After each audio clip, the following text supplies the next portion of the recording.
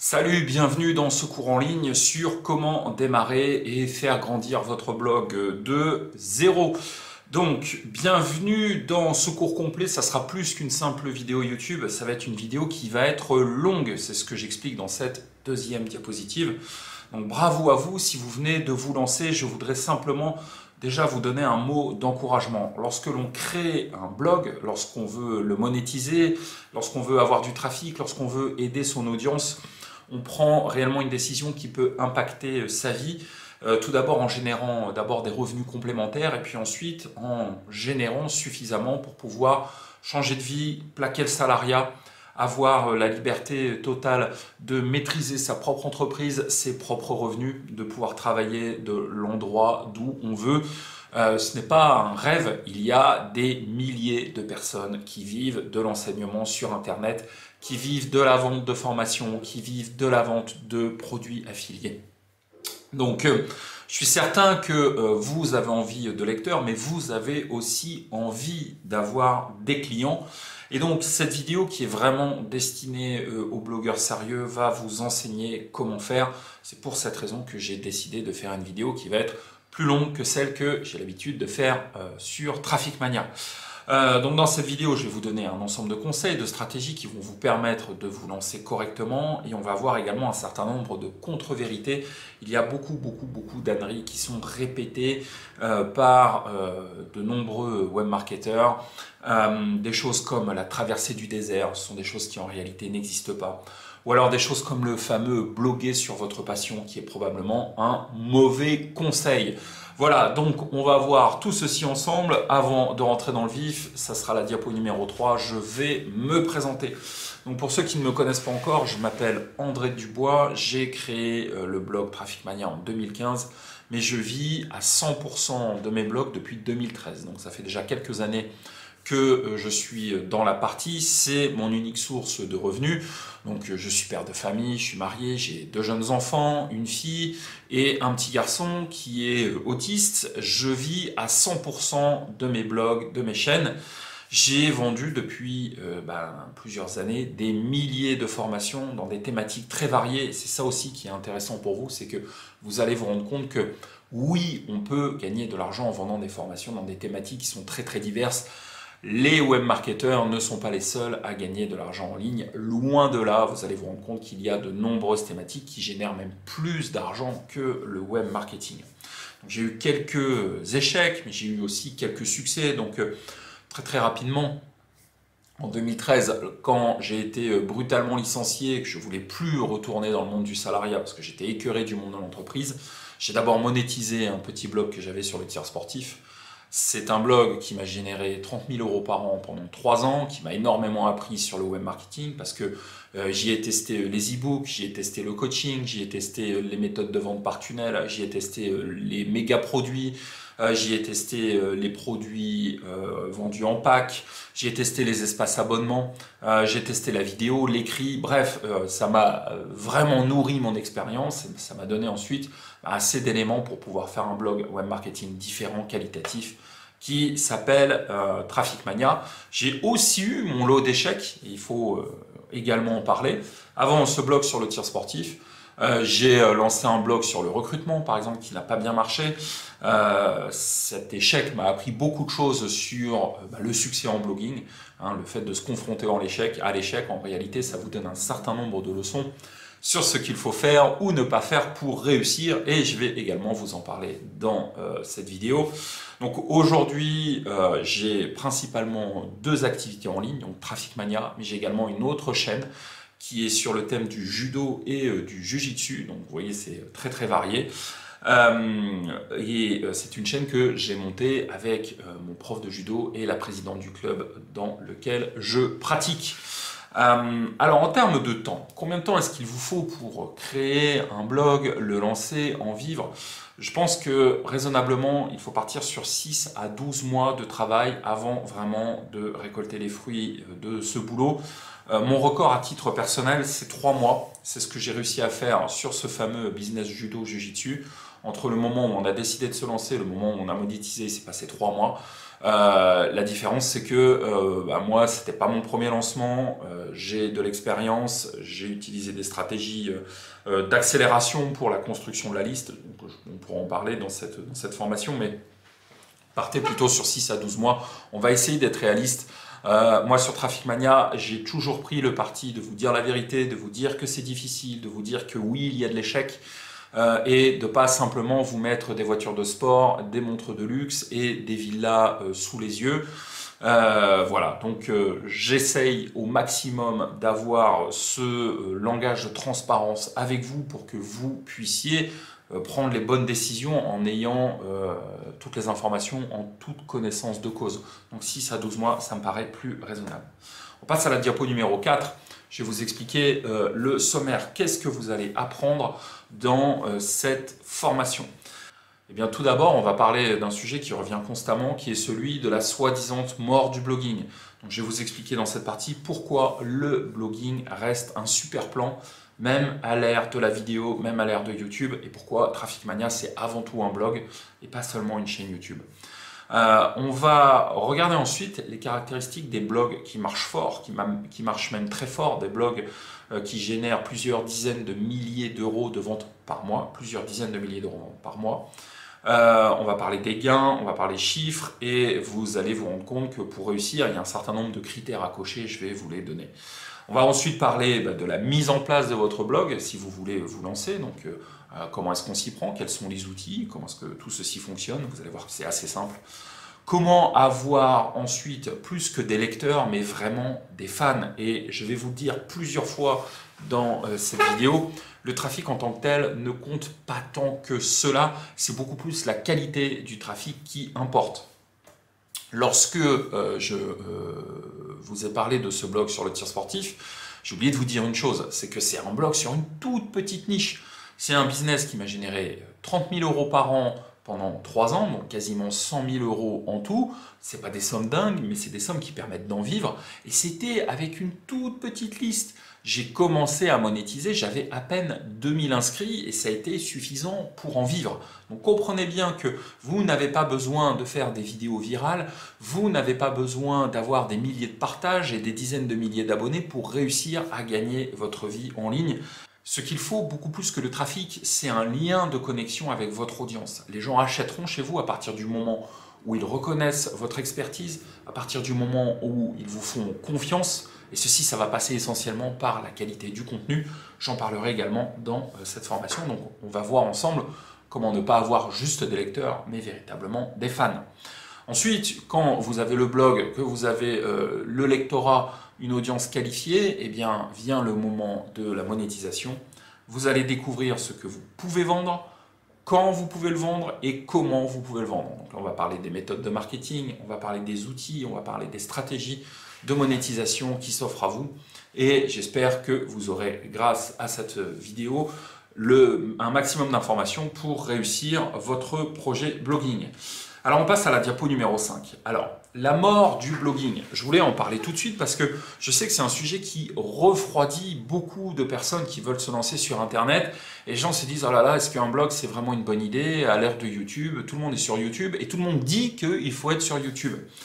Euh, moi, je suis venu sur YouTube très très récemment. Euh, Traffic Mania, c'est beaucoup plus un blog. Et YouTube, ça a été un relais de croissance. Mais Traffic Mania fonctionnait toujours très bien, même sans la chaîne YouTube.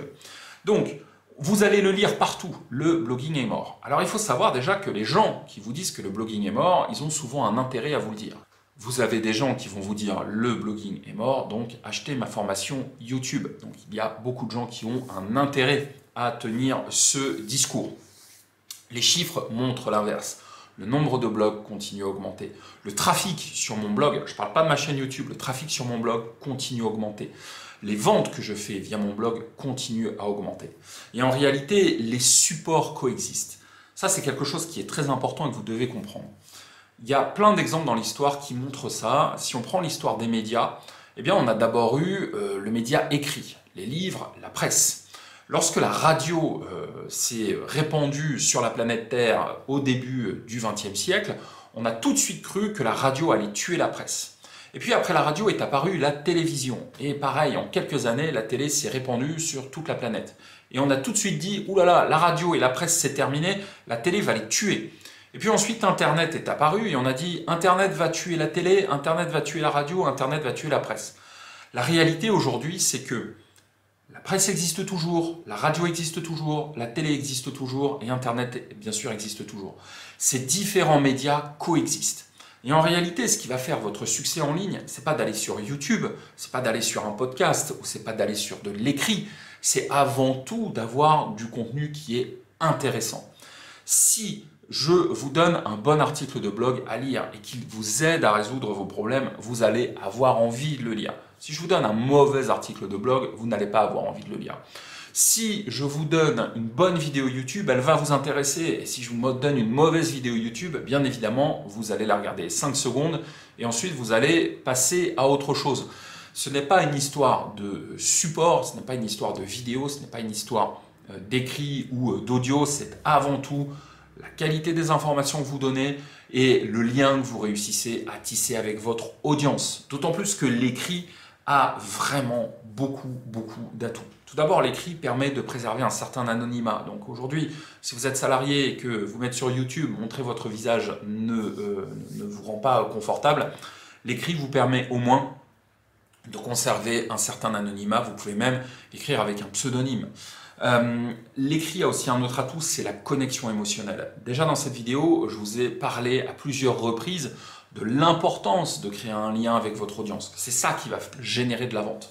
Eh bien, euh, vous devez euh, comprendre que l'écrit, par l'utilisation des figures de style, des métaphores, par l'utilisation d'un langage émotionnel, permet une connexion qui est bien plus puissante que la vidéo. Et ça, vous pourrez vous en rendre compte si vous allez lire plusieurs articles de Traffic Mania il y a des articles qui ont véritablement retourné mes lecteurs, ceux euh, dans lesquels j'explique l'histoire de mon licenciement, ceux dans lesquels j'explique comment le blogging m'a permis euh, de me sauver par rapport au handicap de mon fils. C'est vraiment des articles qui, touchent les gens et qui fidélisent l'audience. Donc euh, ça, c'est beaucoup plus facile à faire à l'écrit qu'en vidéo. En vidéo, ça ça aurait l'air un petit peu, comment dire, peut-être un peu lourd, un peu trop sucré, enrobé de pathos. En réalité, lorsque vous le faites à l'écrit, vous pouvez créer une connexion émotionnelle ultra puissante. Et puis l'écrit a un autre avantage, c'est le taux de conversion. Le but d'une chaîne YouTube, le but d'un blog, le but d'un podcast, c'est toujours de récolter des inscrits newsletter. Pourquoi? Parce que vous allez faire la majorité de vos ventes en sollicitant votre liste d'inscrits. et il faut savoir que quand vous êtes sur YouTube, euh, lorsque vous dites aux gens, ben, cliquez sur le lien dans la description et allez vous inscrire à la newsletter, il y a une forte déperdition parce que les gens sont sur YouTube, ils n'ont pas forcément envie de quitter YouTube pour aller sur un autre site et pour laisser leur email. Alors que quand les gens lisent un article de blog, le formulaire d'inscription, il va apparaître directement soit sur une pop-up qui va apparaître comme ça sur l'écran, soit il va être situé euh, sous l'article en général. Et c'est donc euh, un moyen beaucoup plus efficace d'obtenir des inscrits et la croissance de liste est plus forte sur un blog que sur YouTube. D'accord? Donc le blog a de sérieux atouts. Et encore une fois, c'est une histoire de qualité de contenu. Les différents médias coexistent. Vous avez aux États-Unis des gens qui sont blogueurs depuis des années, qui sont même pas sur YouTube et qui ont des succès colossaux. Euh, je veux dire, Copyblogger n'a pas de chaîne YouTube, euh, Zen Habits, Léo Babuta, euh, le pape du développement personnel, n'a pas de chaîne YouTube. Il y a quantité, quantité de blogs qui ont des dizaines de milliers d'inscrits qui continuent leur croissance sans être sur YouTube. Et vous avez aussi des gens qui sont sur les deux, et vous avez aussi des gens qui sont que sur YouTube et qui ont également du succès. Mais le très commun, c'est avant tout la qualité de contenu, beaucoup plus que le support. Je conclue l'histoire en vous remotivant et en vous parlant de l'histoire de Damien pour vous montrer à quel point n'importe qui peut mettre en place un projet euh, blogging, en tout cas la plupart des gens, et à quel point euh, il faut simplement que l'idée fasse son chemin. Damien, c'est un ami de la famille, c'est un ami de mes parents, euh, que je connais donc depuis que je suis tout gamin et qui est architecte. Euh, Damien, un jour, je l'ai eu au téléphone parce que j'étais en train d'acheter une maison. J'aurais voulu avoir quelques renseignements et son expertise d'architecte. Donc je lui explique, voilà la maison, etc. Et puis comme ça faisait longtemps qu'on ne s'était pas parlé, il me dit, mais toi, qu'est-ce que tu deviens? Euh, Ton histoire d'Internet, raconte un petit peu. Et plutôt que de lui dire, bah oui, euh, je vends des formations sur le trafic, sur le marketing en ligne, je lui ai dit, Damien, toi, tu es architecte. Tu es architecte, imagine que bah, tu crées un site dans lequel tu parles d'architecture. Et dans lequel tu décides d'aider les étudiants qui passent le concours d'architecte. Le concours d'architecte, il est difficile, euh, c'est un examen qui est sélectif, et euh, imagine que tu crées un site dans lequel tu donnes toutes tes astuces pour devenir un meilleur architecte. Bah, bien évidemment, tous ceux qui sont intéressés par ce sujet viendraient lire ton, blog, parce que tu en ferais la promotion, et puis tu pourrais créer une formation sur comment réussir son concours d'architecte.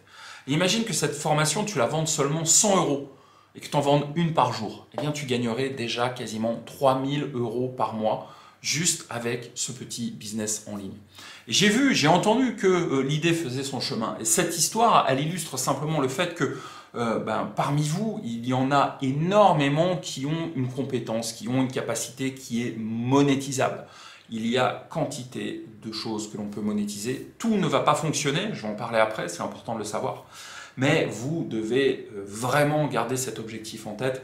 Euh, c'est pas simplement une histoire euh, d'argent, le blogging, c'est une histoire d'aider son audience et d'avoir un sens à son travail. C'est beaucoup plus intéressant que d'être chef du projet du remplacement des chaussures de sécurité dans une entreprise de bâtiment.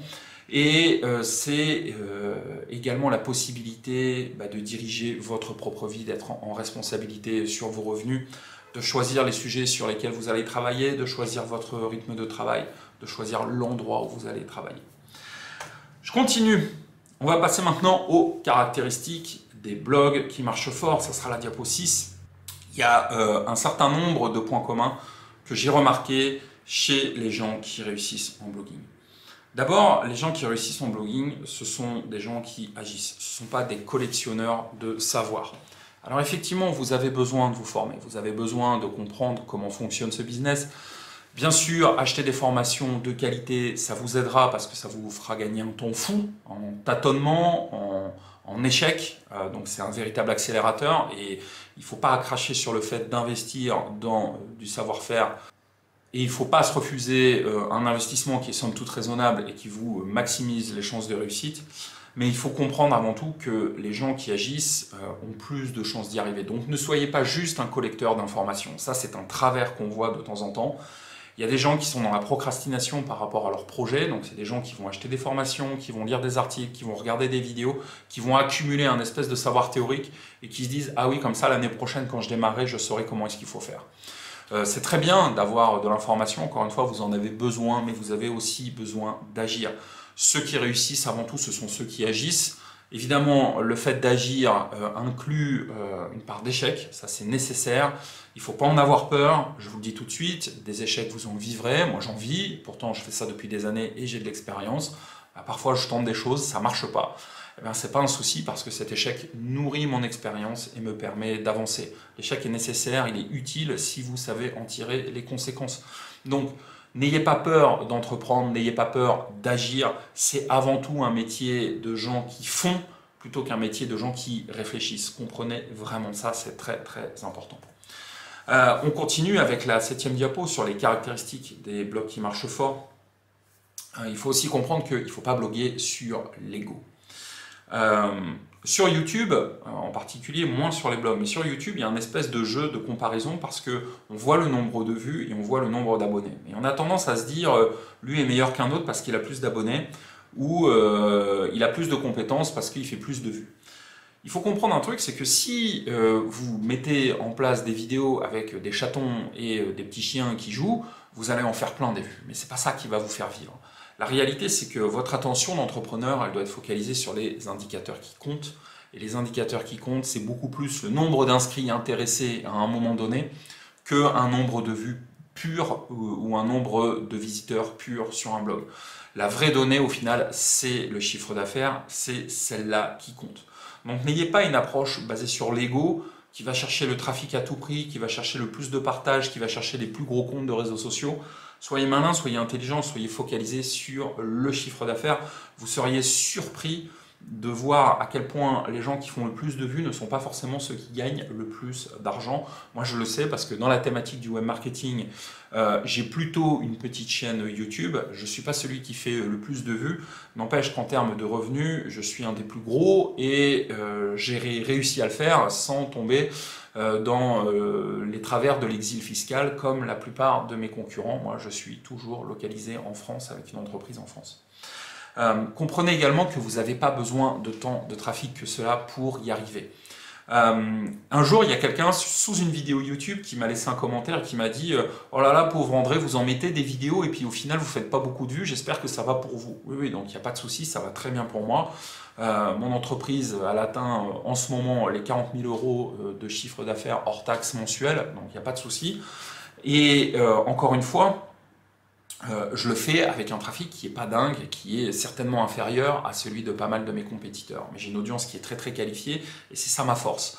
Et sur mon blog de tir sportif, je n'avais que quelques milliers d'inscrits et j'en vivais. Vous n'avez pas besoin de générer euh, des centaines de milliers de vues, euh, d'avoir des milliers de visiteurs par jour pour y arriver.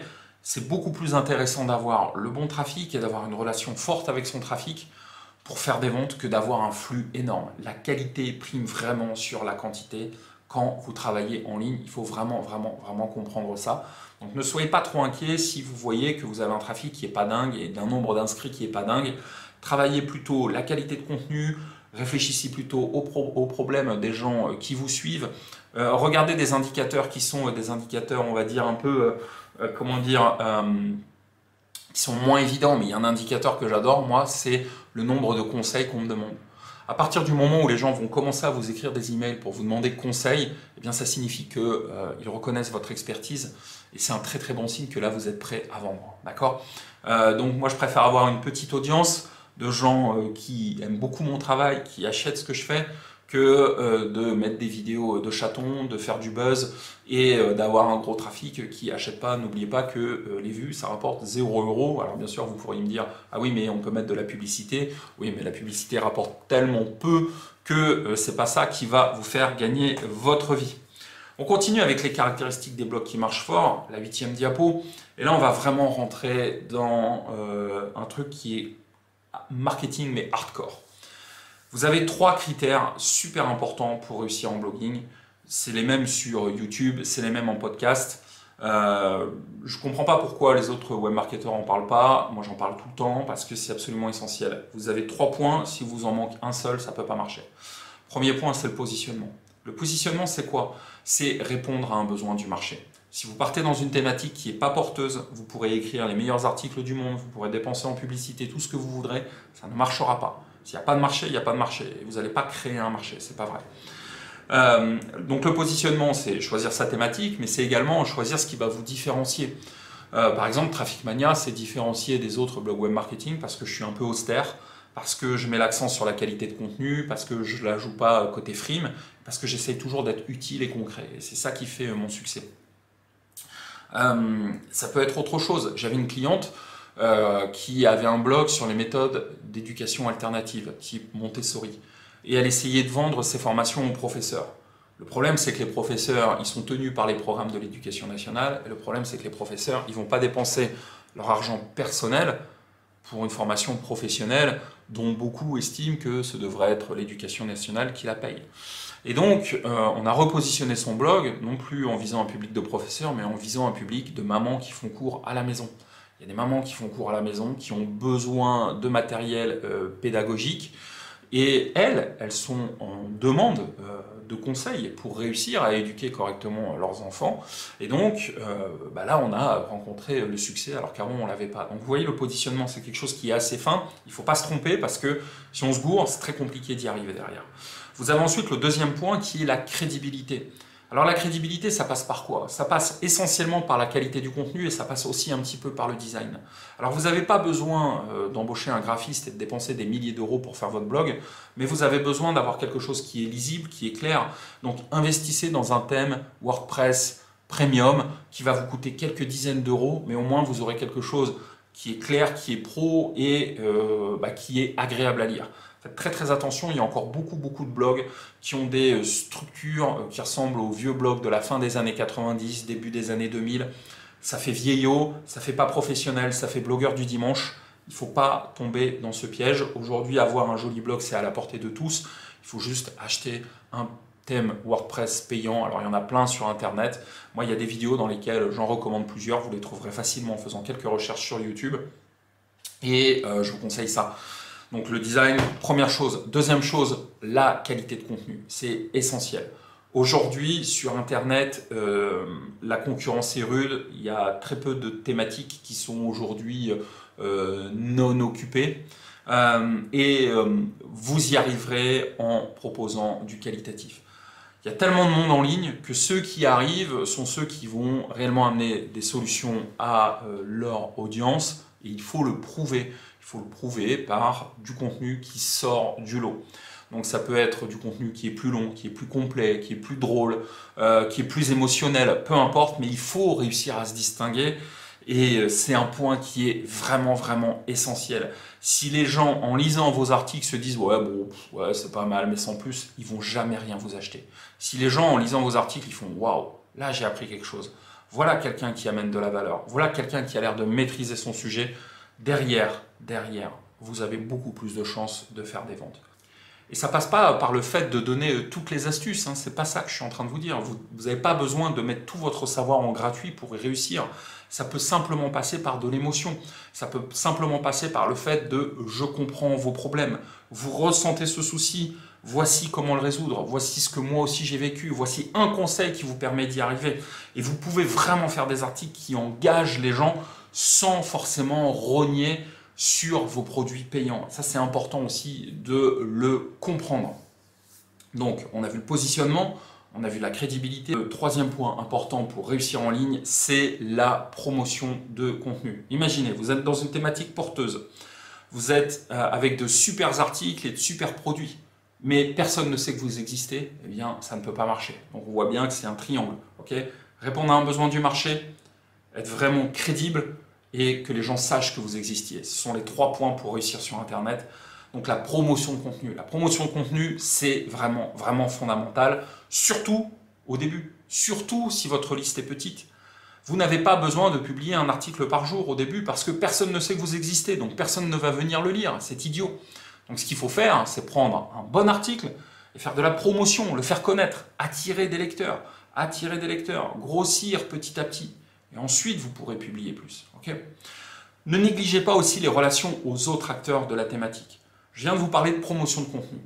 Le trafic, en réalité, c'est toujours prendre votre contenu et le mettre sous les yeux de quelqu'un qui est déjà sur Internet. D'accord? Donc vous pouvez le faire avec de la publicité, mais vous pouvez le faire aussi avec les autres acteurs de votre thématique. Les forums, les autres blogueurs, les youtubeurs. Vous pouvez les contacter, faire des compilations d'articles, les faire participer, les interviewer, écrire des articles invités chez eux. Il existe une quantité de stratégies qui vont vous permettre de promouvoir vos articles, d'attirer du trafic, de faire grandir votre liste et ainsi d'arriver enfin au seuil de monétisation. Donc comprenez bien que le blogging a l'air solitaire, ce n'est pas un travail solitaire. C'est très important que vous vous tissiez un petit réseau de gens dans votre thématique. Donc contactez-les, euh, échangez avec eux par email, essayez de les appeler, présentez-vous, dites ce que vous faites. Euh, plus vous connaîtrez de gens dans votre thématique, plus vous pourrez demander des partages, plus vous pourrez demander des interviews, plus vous pourrez demander des articles invités, et plus vous pourrez y arriver. Et voici une autre chose importante, je l'ai mis sur la diapo numéro 9, il faut absolument comprendre que certaines tactiques marchent à certains moments. Je viens de vous le dire, publier fréquemment, au début, c'est idiot. Vous avez une petite liste d'inscrits, personne ne sait que votre, que votre blog existe. Donc si vous publiez euh, sans faire de promotion, c'est comme si vous rentriez dans une classe vide et que vous faisiez votre cours au tableau. Ça n'a absolument aucun sens. Ce que vous devez faire au début, c'est publier un bon article, en faire la promotion, ramener des gens dans la classe pour que les gens voient votre cours, pour que les gens lisent votre article. Donc au début, publier fréquemment, c'est une ânerie. En revanche, publier fréquemment quand on a une grosse liste, c'est une bonne idée parce que à chaque article, à chaque contenu, à chaque vidéo, vous envoyez un email à la liste et vous avez des centaines de personnes qui viennent sur votre blog. Donc là, votre blog est vivant, là, vous avez de l'audience, là, vous avez de la croissance uniquement par ce biais-là. Mais au début, quand vous avez quasiment pas d'inscrits, que vous démarrez, vous aurez beau écrire 10, 20, 30, 40 articles, cela ne changera rien. Et ne croyez pas que Google, du jour au lendemain, va vous positionner tout en haut des moteurs de recherche si vous n'avez aucun lecteur. Ça ne marche pas comme cela. Donc au début, c'est à vous de faire ce travail de promotion. Vraiment comprendre euh, ces choses-là. Donc si vous êtes au début, pensez beaucoup plus promotion que publication d'articles. Ne vous dites pas « Ah, qu'est-ce que je vais écrire demain ?» mais dites-vous plutôt « Ah, qu'est-ce que je vais faire demain pour faire connaître cet excellent article que je viens de publier ?» Je continue et on va parler maintenant euh, des gains. Alors, quels sont les gains quand on est, quand on est blogueur? Alors il faut comprendre un truc, c'est que déjà, il n'y a pas que les blogs qui parlent de blog, qui marchent fort. Oui, le web marketing, c'est une thématique porteuse, c'est une thématique qui est difficile, dans laquelle il y a beaucoup, beaucoup, beaucoup d'acteurs. Donc, euh, thématique dans laquelle il n'est pas forcément facile aujourd'hui de venir faire sa place. Il faut euh, également comprendre que euh, ce ne sont pas ces blogs-là qui rapportent le plus. Moi, j'échange un petit peu avec les gens de mathématiques. Alors, les gens dans le web marketing, ils partagent volontiers leur, leur, vente. Moi, je vous ai déjà dit qu'aujourd'hui, j'étais à 40 000 euros hors taxe mensuelle. Ça continue à croître. Mais euh, dans d'autres thématiques, c'est plus compliqué. Les gens ne cherchent pas forcément euh, à mettre en avant euh, leurs gains, tout simplement parce qu'ils préfèrent rester discrets, tranquilles sur leur petite thématique. Moi, j'avais un petit blog sur le tir sportif, minuscule, micro-niche, juste quelques milliers d'inscrits, ça faisait 3000 euros par mois. Vous avez des blogs sur l'apprentissage de langue qui génèrent plus d'argent que Traffic Mania. Vous avez des blogs sur la photographie qui génèrent plus d'argent que Traffic Mania. Vous avez des blogs sur la pratique sportive dans certains sports qui génèrent plus que Traffic Mania. Vous avez des blogs sur la mode euh, qui vendent des, e-books de conseils mode qui génèrent plus que Traffic Mania. Euh, vous avez des blogs de développement personnel qui sont absolument euh, colossaux et je parle bien sûr en francophone. Donc ne croyez pas qu'il n'y a que les blogs qui parlent de blogs qui gagnent de l'argent loin de là. Donc je voulais juste partager avec vous quelques chiffres. En francophone, il est absolument, selon moi, facile, dans une bonne thématique porteuse, de gagner 3-4 000 euros par mois sans le moindre souci et le nombre de thématiques dans lesquelles on peut encore venir euh, s'implanter est absolument hallucinante. Mais aujourd'hui, euh, qui vend des cours pour devenir un meilleur joueur de billard? Ça vous paraît dingue? N'empêche qu'il y a des gens qui achèteraient des formations. Euh, moi, j'ai bien monté un truc sur le judo. On était les seuls, et on est toujours quasiment les seuls à vendre des formations sur le judo. Il y a 600 000 pratiquants. Où sont les gens qui vous apprennent à faire de l'équitation? Combien il y a de blogs aujourd'hui intéressants sur la photo? Euh, combien il y a de blogs aujourd'hui vraiment euh, pertinents, percutants sur l'immobilier? Il n'y en a pas tant que ça. Sur le développement personnel, il y a plein de blogs, mais la grande majorité sont vraiment pas très intéressants. Quelqu'un qui arrivera avec du qualitatif pour y arriver, etc., etc., etc. Qui parle aujourd'hui de plongée sous-marine? Qui a une approche vraiment empathique et fun de la cuisine? Où sont les blogs pointus sur les réseaux sociaux? Il y a vraiment une quantité de choses à faire qui est hallucinante. Je vous conseille d'ailleurs de temps en temps d'aller faire un tour sur un site qui s'appelle Flippa, f l i p a qui est une sorte de plateforme de vente de blogs. C'est principalement une plateforme anglophone mais ça donne toujours d'excellentes idées. Par exemple, en y allant il y a quelques jours, j'ai vu qu'il y avait un blog à vendre, une personne qui vendait des décorations de gâteaux. Vous voyez les gâteaux de mariage, en haut on met euh, la petite figurine du marié et de la mariée. Ben là, c'est pas une personne qui vend des formations, c'est une personne qui vend euh, des, produits en dur et elle vend, euh, elle fabrique ce genre de petites choses et elle les vend sur Internet. Donc c'est du sur-mesure. Les gens parfois ils veulent un truc fun ou ils veulent un truc Star Wars ou un truc Disney ou j'en sais rien et elle leur fait sur mesure. Et c'est un business qui rapporte 2000 dollars par mois. Et des petites choses comme ça, il y en a plein. On n'a absolument pas idée du nombre de business que l'on peut mettre en place sur Internet. Je pense qu'aujourd'hui, à peu près n'importe quelle activité qui existe en dur, elle est transposable en ligne. Si aujourd'hui vous êtes plombier et que vous avez eu une belle carrière en tant que plombier, eh bien pourquoi ne pas monter un site qui explique aux plombiers débutants comment on s'installe, comment on négocie avec les banques, comment on négocie avec les clients, comment on trouve de nouveaux clients? Il y a là encore un marché qui existe et qui est selon moi énorme. On continue avec la diapo 11. On va rentrer maintenant dans le dur. Que je vous ai parlé de l'importance de la crédibilité, de la promotion, du positionnement, je vous ai dit que c'était avant tout une histoire de gens qui agissent. On va parler vraiment de la mise en place de votre blog. Alors, les outils. Euh, ça va aller assez vite. Aujourd'hui, il y a plein d'alternatives pour faire du contenu écrit. Vous pouvez être sur Wix, euh, vous pouvez euh, installer un blog sur des plateformes comme ça tout en un. Moi, je ne vous le recommande pas je vous recommande uniquement WordPress et j'y tiens vraiment, vraiment beaucoup. Euh, allez sur WordPress, pourquoi? Parce que WordPress permet d'installer des plugins marketing puissants. Lorsqu'on est sur WordPress, c'est très facile de faire des pages de vente design avec des comptes à rebours. C'est très facile de mettre en place du tracking.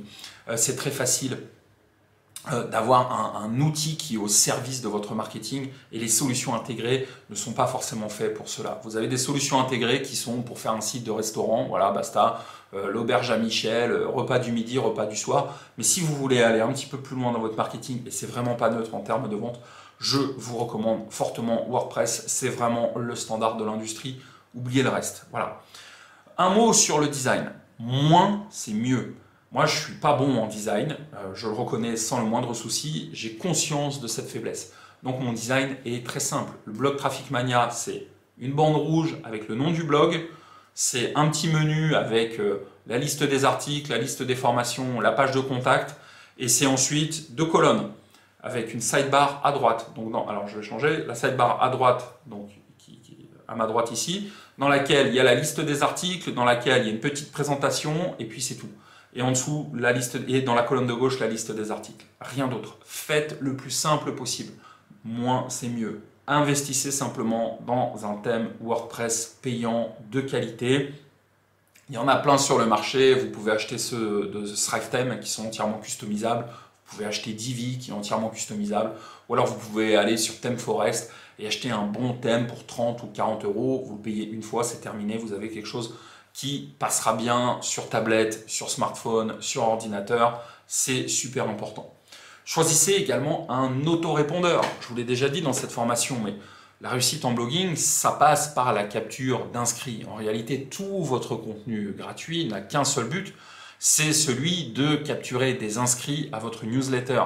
Il vous faut un autorépondeur. Là encore, faites attention aux solutions intégrées qui vous disent qu'ils font autorépondeur, euh, système de gestion de vente, page de vente, euh, blog, euh, dans un espèce de tout en un, parce que vous aurez des outils qui sont moins performants. Un autorépondeur qui fait que autorépondeur, c'est un outil performant en termes de statistiques, en termes de fonctionnalités marketing, en termes de euh, segmentation de listes. C'est des choses qui sont importantes et que vous ne pourrez pas forcément faire avec les solutions 100% intégrées. Donc prenez un vrai bon autorépondeur. Aweber, MailerLite, MailChimp, euh, SG autorépondeur, euh, GetResponse, bref, il y en a beaucoup sur le marché. ils sont tous à peu près dans les mêmes gammes de prix, ils ont tous à peu près les mêmes fonctionnalités prenez un bon autorépondeur, euh, c'est vraiment, vraiment super important. Quand vous avez mis en place votre thème WordPress, quand vous avez mis en place votre autorépondeur, ne commencez pas à publier tout de suite. Créez simplement une page à propos, une page de présentation qui explique qui vous êtes. Et l'étape d'après, c'est de créer votre bonus. Les bonus, c'est super important pour que les gens s'inscrivent à votre liste. Alors, vous pouvez bien sûr leur dire juste de s'abonner à une newsletter et que vous allez leur envoyer un conseil par jour, ça marche. Moi, je vous conseille de rajouter un petit cadeau en plus. C'est toujours ça de prix, ça pose pas de problème par rapport au RGPD. Et euh, en plus de ça, euh, ben, vous avez l'occasion, en leur donnant un bonus, de commencer à créer du lien avec eux. Parce que si vous leur donnez un e-book ou si vous leur donnez une petite formation de 45 minutes, une heure sur votre thématique, eh bien les gens vont déjà pouvoir se rendre compte de qui vous êtes. Ils vont pouvoir juger de votre expertise. Vous allez pouvoir euh, bah, montrer que vous êtes quelqu'un qui leur amène déjà des résultats et qui connaît son domaine. Donc créer ce petit bonus, c'est euh, quelque chose qui est assez facile à faire. Il faut que ce soit très orienté résultat. Donc vous prenez un micro sujet de votre thématique, vous créez ce petit bonus et euh, vous en faites soit un e-book de 15-20 pages bien réalisé, utile, soit une petite vidéo de 3 quarts d'heure, 1 heure, et vous mettez ça sur une page de votre blog et vous dites simplement que euh, ben, sur cette page on peut s'inscrire et recevoir le guide qui permet d'atteindre tel résultat. Voilà, vous tournez ça joliment, vous concevez une jolie page. Pour concevoir des jolies pages, vous pouvez utiliser un plugin qui s'appelle Strive Architect. C'est celui que j'utilise pour mes pages de vente, pour ma page d'accueil, pour mes pages de présentation. Euh, et euh, quand vous avez votre blog avec votre page de contact, votre page à propos et la page qui présente votre bonus, vous êtes prêt à partir. Et le truc, le truc, c'est qu'il ne faut pas commencer à publier tout de suite chez vous. Parce que n'oubliez pas qu'à ce moment du projet, personne ne sait que vous existez. Personne ne connaît votre blog. Donc vous avez besoin à ce moment-là de vous faire connaître, d'avoir un premier noyau d'inscrits. Parce que si vous publiez un article aujourd'hui, à ce moment-là, personne ne va venir le lire et cela va vous décourager. Donc ne commencez pas à publier tout de suite, sinon gare à la fameuse traversée du désert, où on va faire les choses différemment. Une fois que votre bonus est mis en place, vous allez en faire la promotion, d'accord? Donc c'est important, euh, je voulais vraiment vous en parler sur cette diapositive numéro 11. Une fois que euh, votre bonus est mis en place, il faut le faire connaître. Comment faire? Bah, Vous allez écrire des articles invités euh, chez les autres blogs de votre thématique. Vous allez démarcher des gens euh, sur Twitter, sur les forums. Vous allez faire un petit peu de publicité Facebook, voire vous allez organiser un petit concours. Ça va vous permettre de commencer à faire connaître votre bonus et d'avoir quelques centaines d'inscrits, un premier noyau d'inscrits. Une fois que vous avez quelques centaines d'inscrits, là, vous pouvez commencer à publier chez vous. Là, vous pourrez écrire un article envoyer un email à votre newsletter et dire voilà, j'ai écrit cet article qui va vous montrer ceci, cela, et vous aurez des lecteurs sur ce premier article. C'est très très très important d'être patient au début et de consacrer euh, quelques semaines, quelques mois même à la promotion uniquement de votre bonus. N'ayez pas peur, si le bonus est intéressant, les gens vont vouloir le télécharger. Vous pouvez expliquer que le blog est en construction, que pour le moment vous avez créé cette petite ressource gratuite, les gens ne vont pas s'enfuir dans la nature, vous prendre pour un rigolo parce que le blog est vide. Moi, c'est exactement le chemin que j'ai suivi sur Traffic Mania et ça a très très très très très bien marché. Une fois que vous avez fait la promotion de ce bonus pendant quelques semaines, quelques mois, que vous avez quelques centaines d'inscrits, commencez à publier. On passe à la diapo numéro 12 et je vais réinsister fortement sur l'importance de la promotion. Je vous l'ai déjà dit, au début, publier beaucoup n'a aucun intérêt parce que vous avez une petite liste. Donc, d'abord, faites la promotion de votre bonus, ramenez quelques centaines d'inscrits, et quand vous avez quelques centaines d'inscrits, publiez peu, mais publiez bien. Et à chaque article, vous faites de la promotion. Par exemple, vous euh, citez euh, d'autres articles de blog dans votre article, et quand il est publié, vous contactez le blogueur que vous avez cité, vous lui dites gentiment, voilà, j'ai parlé de toi, j'ai mis un lien, est-ce que tu veux partager? Ou alors vous contactez un gros blogueur de votre thématique et vous faites une interview et vous lui demandez ensuite de bien vouloir partager sur ses réseaux sociaux. Ou alors vous mettez un petit budget publicitaire. Ou alors vous continuez à écrire des articles invités. Bref, il existe des dizaines de techniques de promotion. Euh, c'est même un sujet que je traite dans une de mes formations. Et ça, ça permet vraiment que chaque article fasse un maximum de bruit et fasse grandir votre liste. N'oubliez pas également de bien écrire. C'est absolument fondamental de bien écrire. Si vos articles sont moyens, bah, les gens ils vont venir lire quelques lignes, ils vont dire bof, c'est pas terrible, et puis ils vont s'en aller. Donc comment est-ce qu'on fait pour bien écrire? On va en parler dans cette diapo numéro 13. L'idée principale, l'idée générale, c'est que il faut pas être juste un donneur d'informations. Aujourd'hui, toute l'information du monde, elle est déjà là en ligne. Il y a Wikipédia, il y a les blogs, il y a les articles, euh, les vidéos YouTube. Donc aujourd'hui, si on cherche une information, on la trouve sur Internet. Donc si vous voulez fidéliser, si vous voulez que les gens euh, vous suivent, si vous voulez que les gens adhèrent à votre discours, il faut mettre un peu plus que de l'information.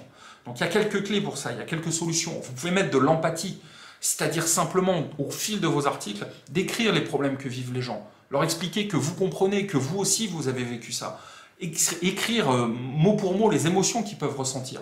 Par exemple, quelqu'un qui joue au tennis et qui perd sans arrêt ses matchs, qu'est-ce qu'il ressent? Il ressent de la frustration, euh, il en a marre de sortir euh, du tournoi au premier tour. Il aimerait bien expliquer à ses enfants qu'il est arrivé en demi-finale, qu'il a lui aussi gagné des matchs. Il y a des histoires de fierté, il y a des histoires euh, qui sont importantes pour les gens. À partir du moment où vous incluez ça dans vos articles, les gens qui vivent ce problème, ils s'identifient à vous et ils se disent voilà quelqu'un qui me comprend, voilà quelqu'un qui pourrait peut-être m'aider. Et là, vous gagnez des chances de faire des ventes. Ok? Donc l'information sur comment améliorer son service au tennis, elle n'est pas très intéressante en soi. Par contre, dire, voilà, vous allez pouvoir améliorer votre service, ça va vous permettre de gagner des matchs, ça va vous permettre enfin de passer des tours, ça va vous permettre d'être fier de vous, ça va vous permettre d'en parler. Là, vous créez un environnement empathique qui génère de la connexion et qui va générer de la vente. C'est ultra, ultra important. Un autre moyen de bien écrire, euh, c'est d'insérer une histoire dans chacun de vos articles. Euh, vos articles, ils doivent mettre en place une espèce de tension euh, narrative. C'est-à-dire qu'au début de l'article, vous avez quelqu'un qui est face à un problème, qui fait face à des difficultés, il va être guidé, il va être guidé par vous. Et au fur et à mesure de l'article et de l'enseignement que vous donnez, la personne, elle va évoluer, elle va franchir des caps, et à la fin, le problème va être résolu. Et ce côté histoire, ce côté exemple est super important, il permet vraiment, là aussi, de se distinguer des contenus purement informationnels qui existent déjà. Mettez également du rythme, Parlez avec simplicité, faites des phrases courtes, aérées, euh, mettez des mots qui impactent, des mots puissants, des mots d'empathie, des mots d'émotion. Tout ça, ça va rendre votre contenu 100 fois plus intéressant. N'hésitez pas aussi à contextualiser au maximum. Quand vous racontez une histoire, dites euh, quel âge vous aviez quand ça s'est passé, euh, l'impression que ça vous a laissé, le temps qu'il faisait dehors. Voilà, euh, je me souviens toujours des parties de pêche avec mon grand-père. Il m'emmenait chaque automne dans une petite rivière en Isère, aller pêcher la truite. C'était des moments qu'on avait ensemble. Et c'est là qu'il m'a appris plusieurs tactiques pour pêcher la truite. Et ces tactiques, je vais vous les raconter à vous aussi. Et vous aussi, vous allez pouvoir les partager avec votre entourage. Plus vous mettez d'histoire, plus vous mettez du contexte, plus vous mettez de l'émotion, de l'empathie, de l'évolution, de l'apprentissage, plus vos contenus vont sortir du lot. Essayez toujours d'avoir cet objectif en tête lorsque vous écrivez un contenu. Passez-y du temps. Bien écrire, euh, tout le monde peut le faire si tout le monde fait l'effort. Tout le monde peut bien écrire. L'écriture, c'est vraiment un truc que n'importe qui peut acquérir. Simplement, il faut pratiquer. Si aujourd'hui vous n'êtes pas très à l'aise avec l'écriture, passez du temps sur vos articles relisez-les, enlevez les phrases en trop, essayez de mettre de l'impact, n'ayez pas peur de mettre un petit peu d'émotion, passez-y du temps et vous verrez petit à petit vos articles seront euh, vraiment, vraiment de mieux en mieux. Faites la promotion, je l'ai déjà dit plusieurs fois, mais surtout au début, quand on a peu de lecture, c'est très très important que vous fassiez la promotion de vos contenus. Et vous allez voir que petit à petit, avec les bons contenus, qui aident l'audience, avec ce travail de promotion, votre audience, elle va grandir de plus en plus. Elle va grandir de plus en plus. Et plus votre audience grandit, et moins vous avez besoin, moins vous avez besoin de faire ce travail de promotion. La quantité de travail au début, elle est énorme. Il faut monter le blog, il faut se faire connaître, il faut tout installer, euh, le bazar technique. C'est un peu comme une fusée. La fusée, euh, qui, la fusée aérienne qui s'élance dans l'espace, pendant la première heure du vol, c'est là qu'elle brûle la majorité de son carburant. Et ensuite, elle en brûle très très peu, elle continue sur sa, sur sa lancée. En réalité, moi aujourd'hui, je travaille moins qu'au début de Traffic Mania. Parce qu'aujourd'hui, j'ai une grosse liste. Il suffit que j'envoie un email et boum, j'ai des vues, j'ai des lecteurs, il n'y a pas de problème, et je fais des ventes. Mais vous qui n'en avez pas beaucoup, au début, vous allez vraiment cravacher. Je suis transparent avec vous. Continuez à faire ce travail, d'aider l'audience, de vous faire connaître. L'audience va monter et il va se passer un truc à un moment, il va y avoir un signe qui va vous montrer que l'audience vous respecte. C'est le fait que les gens commencent à vous demander des conseils par email. Au moment où les gens vous envoient des emails et vous demandent des conseils, vous avez gagné. Vous avez gagné. Ça veut dire qu'ils respectent votre autorité, ils respectent votre expertise. Vous êtes prêt à faire vos ventes. C'est ce qu'on va voir maintenant avec cette quatorzième diapositive. Quand l'audience est suffisante, vous pourrez monétiser. Moi, je pense que le seuil de monétisation, il est aux alentours de 1000 inscrits. Alors, ça paraît énorme quand on débute, mais 1000 inscrits, c'est vraiment pas grand-chose. Et il faut comprendre que monétiser, c'est quelque chose qui est extrêmement rentable. Alors on ne monétise pas avec la publicité, la publicité, ça sera toujours un petit plus, un petit à côté. Monétiser en vendant vos propres produits ou services ou en recommandant d'autres produits ou services. Alors, il y a deux types de produits que vous devez favoriser au début et un que vous devez éviter. Les deux types de produits que vous devez favoriser, c'est soit la création d'une formation que vous allez vendre entre 50 et 200 euros et qui va durer entre 1h30 et 4 heures et qui va résoudre un problème précis de votre audience. Soit du coaching.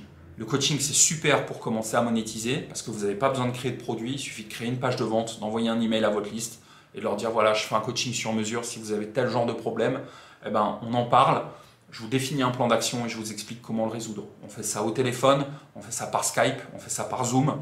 Je vous envoie ensuite l'enregistrement et ça coûte 100 euros, 200 euros, 300 euros. Moi, la première année de Traffic Mania, je n'ai fait que du coaching. Je n'avais pas de produit. ok? J'ai fait que du coaching. J'ai commencé à les vendre 100 euros. Le mois d'après, je les ai passés à 200. Le mois d'après, à 300. Je suis monté jusqu'à 500 euros. J'ouvrais une dizaine de places coaching chaque mois et à chaque fois, je les ai vendues en moins de deux jours. Simplement en disant aux gens, voilà, si vous voulez en discuter de vive voix avec moi, vous répondez à cet email, vous me donnez votre numéro de téléphone et moi je vous appelle. Les gens ils me disaient Ah, ben, j'aimerais bien discuter de ton offre coaching en direct avec toi, est-ce que tu peux m'appeler au 06 machin? Je les appelais Bonjour, c'est André, voilà. Euh, quel est votre problème? Dites-moi un petit peu comment est-ce que je pourrais vous aider? Quels sont les objectifs que vous voulez atteindre? Vous laissez parler les gens, les gens vous expliquent leurs problématiques. Et après, vous êtes honnête avec eux, vous dites Bah voilà, je pense que je peux vous aider pour telle ou telle raison. Puis si vous pensez que vous ne pouvez pas, bah, vous leur dites. Et à mon avis, c'est la bonne approche. Et le plus souvent, quand on utilise cette euh, stratégie de vente de coaching, ça fonctionne. Donc les coachings, c'est super bien, ou alors vous vendez directement des formations. Il y a un type de produit que vous devez absolument éviter au début, j'ai oublié de vous en parler.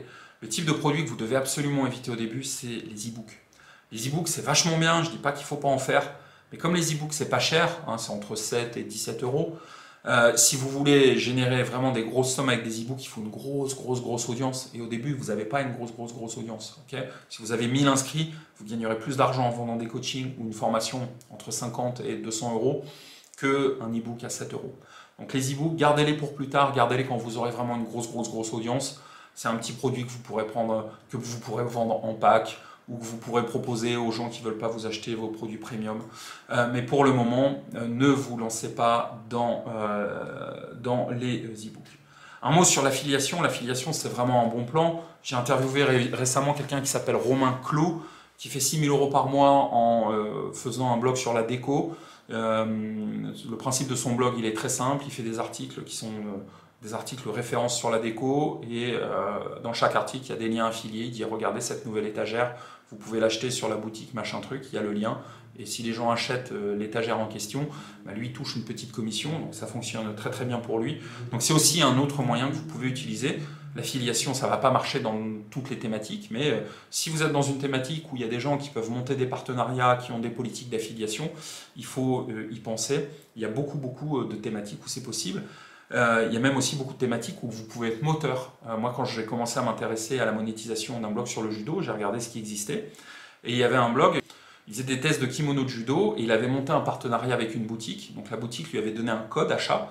Et à chaque fois que quelqu'un achetait euh, un kimono sur cette boutique avec son code achat, lui, il touchait une commission. Et le bon plan pour le, le client, c'est qu'il avait genre 5 ou 10% de remise sur le kimono. Et donc, bah, pour lui, c'était vraiment un super plan parce qu'il faisait des tests de kimono. Donc, il disait voilà, le nouveau kimono Adidas, le nouveau kimono Decathlon, machin truc, les, avantages, les inconvénients. Vous pouvez le commander ici en utilisant le code machin truc et à chaque fois, il touche une petite com. Et euh, vous voyez, avec des stratégies comme ça, on peut vraiment gagner de l'argent. Euh, donc, plutôt euh, du coaching, plutôt de la formation, peut-être même de l'affiliation si c'est possible dans votre thématique. Évitez les e-books au début.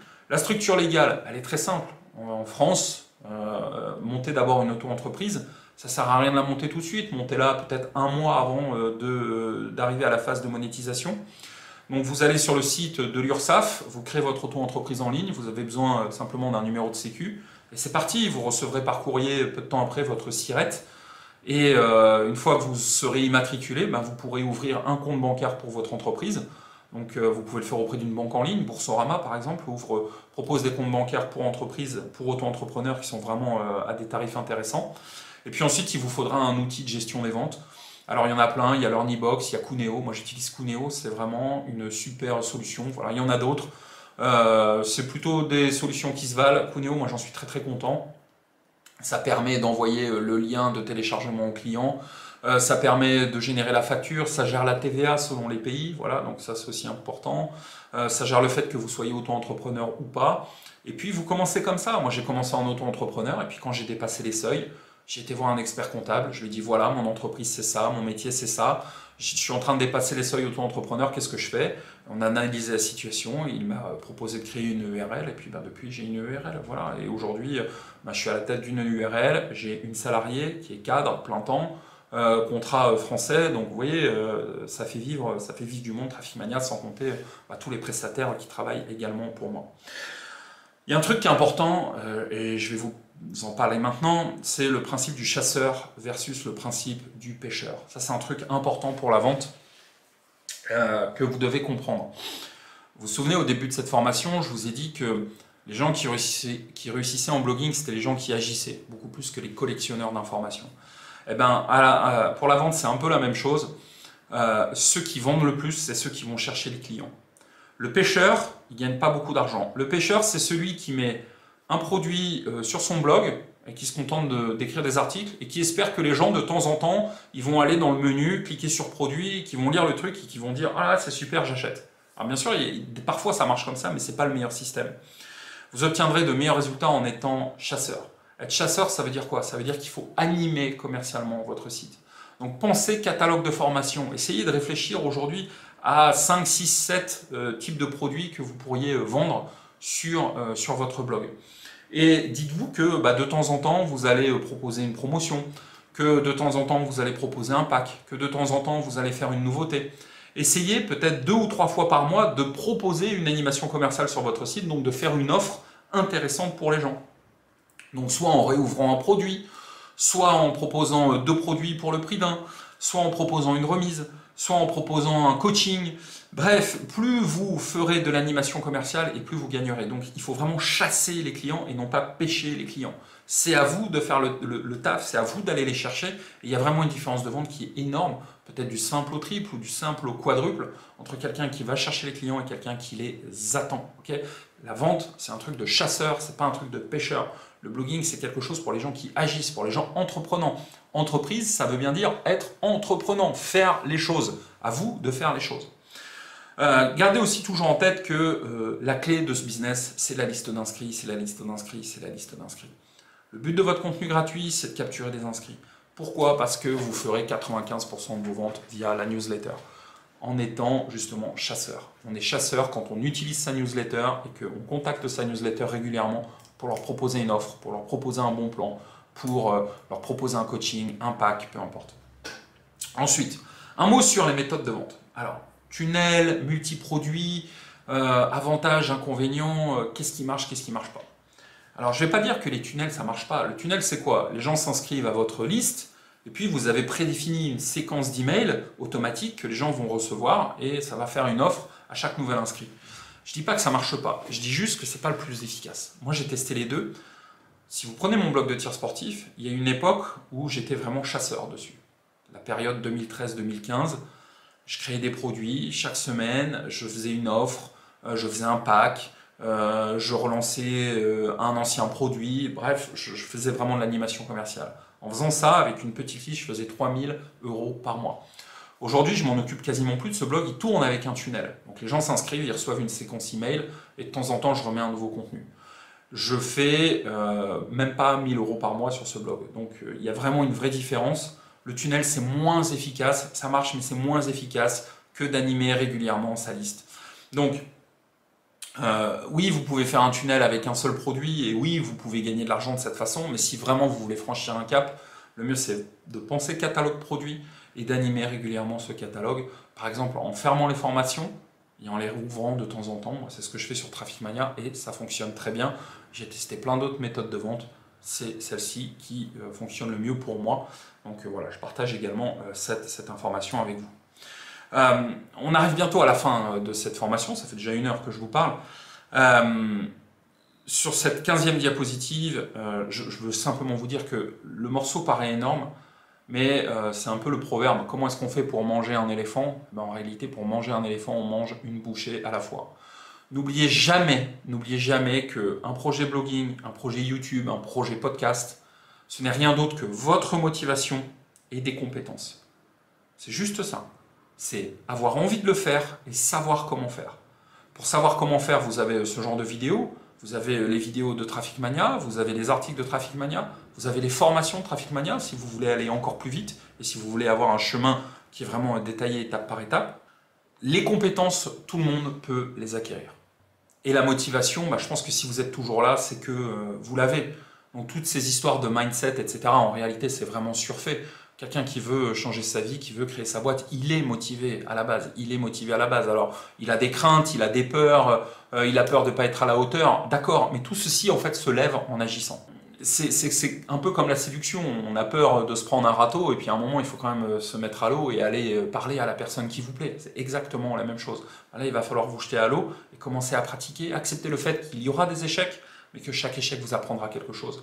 Et en tout cas, ce n'est qu'une histoire de motivation et de compétences. La motivation, vous l'avez déjà, les compétences, vous pouvez les acquérir. Il faut simplement se retrousser les manches et euh, faire le boulot tous les jours, tous les jours, tous les jours. N'oubliez jamais qu'au final, ce que le blogging vous propose, c'est de changer votre vie.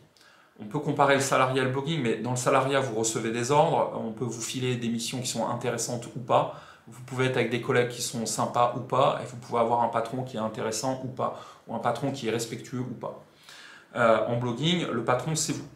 Euh, en blogging, les sujets, c'est vous qui les choisissez. En blogging, le rythme de travail, c'est vous qui les choisissez. En blogging, si vous travaillez bien, vous pouvez quadrupler vos ventes. Vous pouvez décupler vos ventes. Moi, j'ai commencé à 3000 euros par mois. Aujourd'hui, je suis à fois 12 fois 13, ok, en quelques années seulement. Donc euh, on est responsable de euh, ces revenus. J'aurais jamais fait x12, x13 si j'étais resté cadre dans l'industrie. Euh, les bonnes années, on me donnait 3, 3,5, 4% d'augmentation, mais rarement plus. Donc là, vous avez le levier de changer votre vie. En plus de ça, il y a un truc qui est super important, c'est le sens. Quand on est dans une société, voilà, on peut vous donner, comme je l'ai dit tout à l'heure, le projet de racheter des chaussures de sécurité pour tout le monde. Bon, bah ok, vous allez euh, contacter les fournisseurs, négocier le prix, mais c'est pas dingue, je veux dire. Là, vous aidez votre audience. Moi, il y a des gens qui m'envoient des emails qui me disent qu'ils changent de vie. C'est hyper gratifiant. Et même si vous êtes dans une thématique qui paraît anecdotique, genre vous donnez des cours de tennis en ligne, bah, quelqu'un qui était nul et puis qui commence à gagner des tournois, et ces gamins ils sont fiers de lui, bah lui il ressent un accomplissement. il ressent un accomplissement. Donc, c'est de ça dont il s'agit. Et c'est ça que je voulais vous redire. Euh, je termine euh, avec cette 16e diapositive. Si vous voulez aller plus loin, vous avez la newsletter de Traffic Mania. Vous pouvez vous y inscrire en cliquant sur le lien ci-dessous. Vous recevrez en plus une formation trafic complète. Il y a le blog, allez le lire. Ne restez pas que sur la chaîne Traffic Mania. Euh, moi, je suis plus blogueur que youtubeur. Je pense que je suis meilleur à l'écrit qu'en vidéo. Donc, allez voir mes articles de blog. Vous apprendrez énormément de choses. Il y a également les formations pour ceux qui veulent aller plus loin. Euh, pour être au courant de la réouverture des formations, il faut simplement être euh, inscrit à la newsletter. il y a également les coachings Traffic Mania. Alors là, c'est une place est réouverte de temps en temps. Euh, là aussi, il faut être inscrit à la liste d'attente coaching. Tout ceci est expliqué sur le blog. Je vous remercie d'avoir suivi cette vidéo. Merci de m'avoir supporté pendant une heure. Un grand merci et à très bientôt sur Traffic Mania. Ciao, merci.